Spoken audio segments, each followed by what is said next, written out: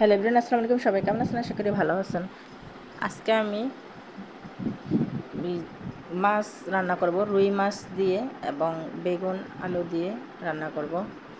দেখুন কড়িয়াতে তেলটা দিয়ে ভালো করে নেড়ে নিচ্ছি। তেলটা ভালো করে গরম করে নিচ্ছি। আমি আগে মাছটা ম্যারিনেট করে রেখেছি। দেখুন, তেলটা ভালো করে হয়ে গেছে। এখন মাছটা দিয়ে দিলাম। এটা হচ্ছে আমাদের রুই মাছ পুকুরের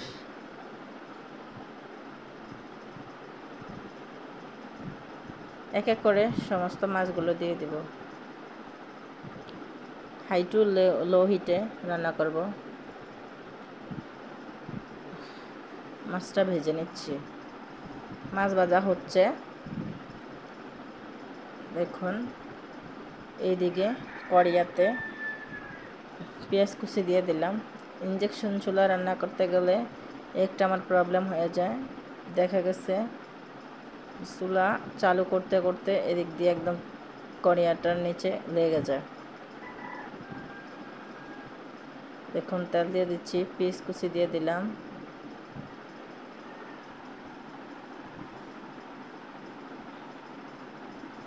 ভালো করে নেড়ে নেব, একটু হালকা ব্রাউন করে নেব। দেখুন, এরপর যে একটু পানি দিয়ে দিলাম। পানি দিয়ে পানিটাকে একটু ভালো করে নেড়ে নিব। লবণ দিয়ে দিচ্ছি। হলুদের গুঁড়ো পরিমাণ মতো দিবেন। হলুদের গুঁড়ো দিয়ে দিচ্ছি।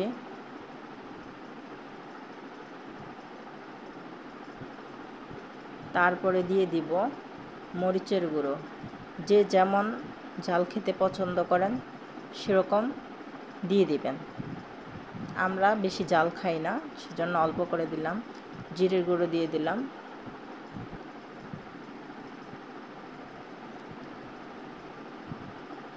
রসুন দিয়ে দিলাম। সব কিছু দিয়ে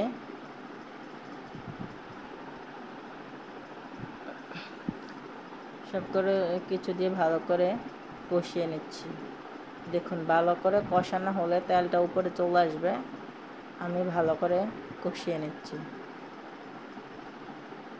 ইঞ্জেকশন চুলায় যারা রান্না করেন, তারা একটু ইয়ের প্রতি, ভলিউমের প্রতি লক্ষ্য রাখবেন যে আপনি হাই ভলিউম দিয়ে দিলে অনেক সময় অনেক ইয়ে চলে আসবে। তরকারিটা দিয়ে দিলাম, বেগুন দিয়ে আলু রান্না করব। তরকারিটা দিয়ে ভালো করে নেড়ে নিচ্ছি, যেন সমস্ত তরকারিতে মশলাটা ভালো করে লেগে থাকে। ভালো করে নেড়ে নিচ্ছি। আপনারাও, আপনারা কীভাবে রান্না করেন জানি না, আপনারাও এভাবে রান্না করে দেখেন, খুবই ভালো লাগবে। ভালো করে নেড়ে নিচ্ছি। এই পর্যায়ে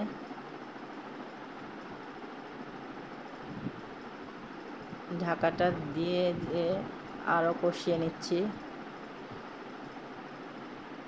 কষানো হচ্ছে, ভালো করে কষিয়ে নেবেন। আর বেগুনের তরকারি বেশি কষাতে গেলে আবার তেতো হয়ে যায়। যেতটুকু কষালে আপনার মশলাটা পচবে, ঠিক অতটুকুই আপনি কষাবেন। পানি দিয়ে দিচ্ছি। যেহেতু আমার কষানো হয়ে গেছে, আমি পানি দিয়ে দিলাম। আর এই মাছটুকু আমি হালকা ভেজেছি, এজন্য আগেই দিয়ে দিব। একটু নেড়ে নিচ্ছি তরকারিটা। নেড়ে নিয়ে এ পর্যায়ে আমি মাছটা দিয়ে দিলাম।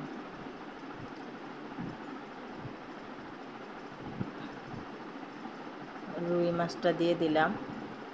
মাছটা আমি আগে দিয়ে দিচ্ছি, যেহেতু তরকারি কষানো হয়ে গেছে। এখন একটু সিদ্ধ হবে সামান্য, আগেই আদা সিদ্ধ হয়ে গেছে। যে তরকারি বলক চলে আসছে, আমি হাই চুলাটা হাই করে দিয়েছি, ভালো আছে, রান্না করছি।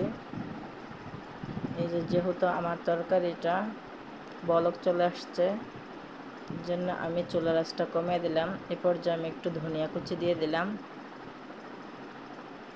ঢাকাটা দিয়ে দেব। ঢাকাটা দিয়ে কিছুক্ষণ রাখব। ঢাকা দিয়ে তরকারিটা রান্না করলে তাড়াতাড়ি সেদ্ধ হয়ে যায়। এবং খেতেও ভালো লাগে। ঢাকাটা তুলে নিয়ে এলাম। দেখলাম তরকারির কি অবস্থা। তরকারি হচ্ছে। সব ঠিক আছে। আমার তরকারিটা হয়ে আসছে। এ পর্যায়ে আবার ঢাকা দিয়ে তুলে নিচ্ছি। তরকারিটা প্রায় হয়ে গেছে। একদম সুন্দর কালার আসছে, দেখুন। একদম সংক্ষিপ্ত রান্না। আমি সকালবেলায় বেশি একটা আইটেম করি না। নর্মালি একটু তরকারি, ভাত রান্না করেই নাস্তাটা করে ফেলে।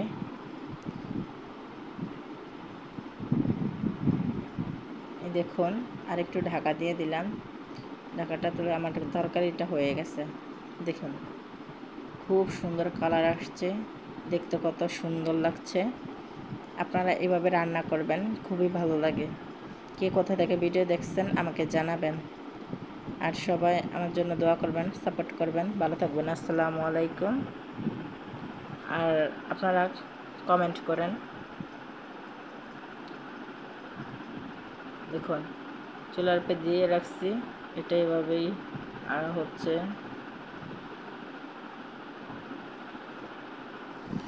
আর কোন জায়গা থেকে দেখছেন? দেখুন, তরকারির লাস্ট